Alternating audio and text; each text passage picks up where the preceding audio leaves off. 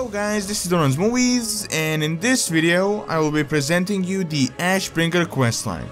Out of the 3 Paladin artifacts, only the Ashbringer is currently available, so I will do a follow-up video on the other two once they're released in the alpha. So without further ado, let's get into the video.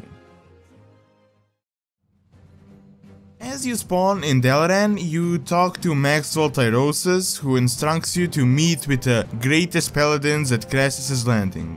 Once you arrive there, you pick one of the three artifacts, one for each pack. As the Ashbringer is the only one available at the moment, for this video I will go with that.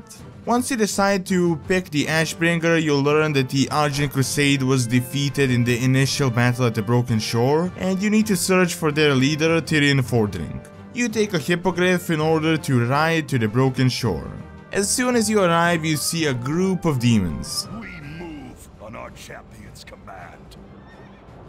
Together with the paladins, you engage in a battle, and once you manage to defeat them, you realize that only you and Maxwell survived. He instructs you to hurry and search for Tirion. As you progress through this scorched land and fires everywhere, you see paladins being tortured and killed by demons. Eventually, as you push through all of this, you encounter jailer Xeras breaking Tirion.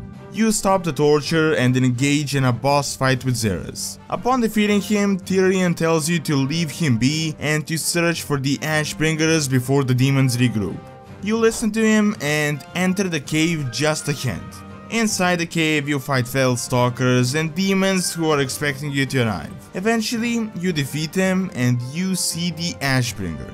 As soon as you approach the weapon however, you hear the voice of Balnazzar. Ah, the Light's greatest champion has arrived to claim the Holy Ashbringer and lay waste to my kin.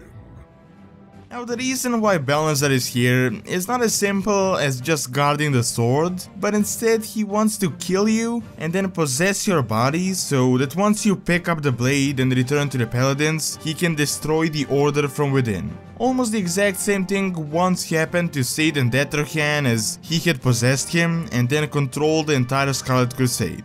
Luckily for us, his plan fails and after a long boss battle you finally manage to defeat him.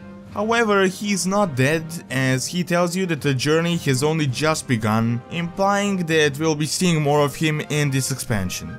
After the entire encounter, Maxwell rushes towards you and tells you that Tirion needs to speak to you urgently. You run back and as soon as you arrive you notice all these paladin reinforcements gathered around Tirion as he gives his final speech. He tells you to stop the Legion and become the new Ashbringer. As his final breath passes, his last light fades away into the sky. After his death, you take the Hippogriff back to Dalaran, where you are instructed to rush to the Light's Hope Chapel in order to bury Tirion. Once you arrive there, you enter the chapel and you notice a hidden floor door that leads into the crypt. Apparently, the crypt is not just an underground graveyard for the champions of the light, as we thought previously, but an entire hidden hole known as the Sanctum of Light. As you enter, you eventually run into Maxwell, who gives you the leader position as Tirion is dead. However, instead of the Argent Crusade, the Order of the Silver Hand is reformed once again. This puts the Argent Crusade in question, as until now the Silver Hand was just a part of it, so we don't really know what happened with the Argent Crusade. So, as leader, you walk through the hall in order to inscribe your name into the Libram of Ancient Kings, as all of the important paladins of both the Alliance and the Horde are waiting for you. You assume the title of the High Lord of the Order of the Silver Hand as you wield the Ashbringer. So far that is all there is for this questline, after that you continue on a campaign against the Legion, and this is also just one of the questlines, and hopefully I can get the next few in just one video. I mainly thought I would do this one separately because of the importance of the weapon, and also the lore and the history of all the characters involved.